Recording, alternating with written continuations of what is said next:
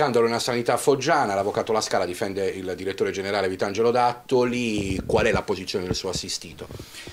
Molto mortificato perché non lo merita.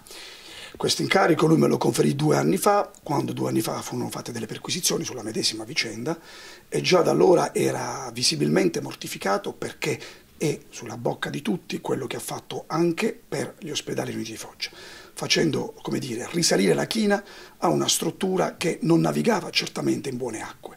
Con lui, a detta di tutti, anche di persone che io non conosco, le cose sono andate molto bene leggendo gli atti, si tratta di vicende complesse per carità, indubbiamente Nel articolate. Che c'è qualcosa per cui valga la pena di approfondire. Ma certamente, Eh, io, che... ma io ci mancherebbe massimo rispetto per gli investigatori che da oltre due anni stanno lavorando su questa vicenda, quindi è giusto che si facciano tutti gli adeguati approfondimenti, così come è giusto che noi daremo tutte le adeguate spiegazioni. Risponderà, eh, quando è l'interrogatorio? Risponderà? Allora, formalmente non ci è arrivata nessuna notifica, ma credo che in questa settimana, fine settimana, dovrebbe esserci, però non abbiamo avuto, io ad oggi, fino a questo momento, non ho avuto alcuna notifica. Gattoli risponderà? Certamente, ma non, non vede l'ora, non vede l'ora, anche noi ci auguriamo che venga fissato quanto prima, non vede l'ora di poter rispondere sia sotto un profilo tecnico, giuridico, sull'andamento di questo bando, di questa gara, sia sotto il profilo di alcuni rapporti umani che gli vengono contestati, ma contestati nel senso di frequentazione. Tentata turbativa d'asta, lei pensa che con riesame si possa ristabilire una certa posizione del direttore generale? Io credevo, credo e crederò sempre nella corretta applicazione della norma. Corretta applicazione non significa che le parti non possono avere divergenza di opinioni, ci mancherebbe pure, è l'essenza del diritto, avere divergenza di opinioni. Io confido nel diritto, ecco, confido nel diritto e chi di chiunque ovviamente leggerà con la dovuta attenzione anche la nostra difesa che diciamo fino ad ora non è stato possibile come dire esplicare perché il dottor Dato non è stato ancora interrogato.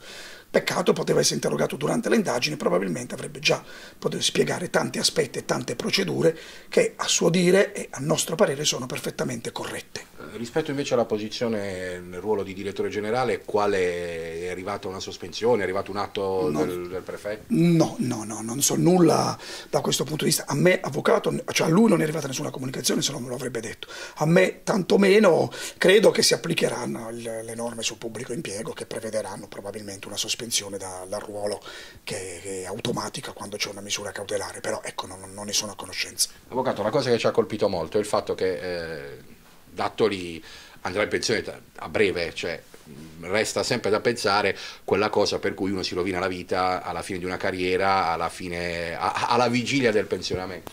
Beh, credo che questo deponga a favore suo, perché proprio per questa ragione, uno che per 30 anni ha svolto il ruolo di manager, tra l'altro non dimentichiamo che quando era a Bari, sia il governo Vendola che il governo Fitto che il governo Emiliano hanno tutti e tre confermato lui, e stiamo parlando di tre persone completamente diverse tra di loro, se tutte e tre hanno riposto piena fiducia in lui, è perché evidentemente è una persona che ha agito sempre con correttezza e competenza, quindi, quindi rende ancora più strano il tutto che sotto pensione vado a condizionare una gara di nicchia, tra l'altro, non parliamo della gara quella più grande di cui parlano i giornali che riguarda altri indagati e non riguarda il dottor Dattoli, una gara di nicchia per giunta senza aver ricevuto promessa di nulla, né di denaro, di vantaggio, quindi Nelle carte che lei ha letto eh, non risulta il fatto che qualcuno abbia promesso, lui abbia chiesto denaro, benefit, prebende, niente. non solo non risulta, ma non è stato contestato, perché a Dattoli non hanno contestato la corruzione, tentata corruzione, concussione, induzione indebita, che sono tutti reati tipici del pubblico ufficiale che chiede, pretenda, concorda denaro o altra utilità.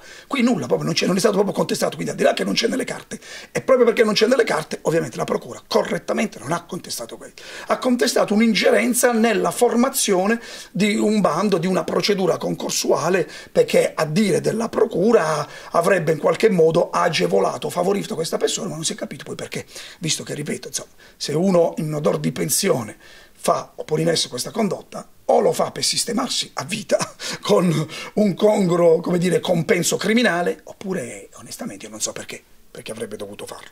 Quindi, però, ripeto, è giusto il rispetto dei ruoli, i magistrati sono persone che hanno una grande esperienza sui reati della pubblica amministrazione, quelli che si sono occupati di questa vicenda, e lui giustamente non vede l'ora di poter finalmente rendere un interrogatorio per poter chiarire la posizione e speriamo uscirsene quanto prima, almeno dal cautelare. Poi sicuramente un libero e democratico dibattimento farà ancora più luce sull'intera vicenda.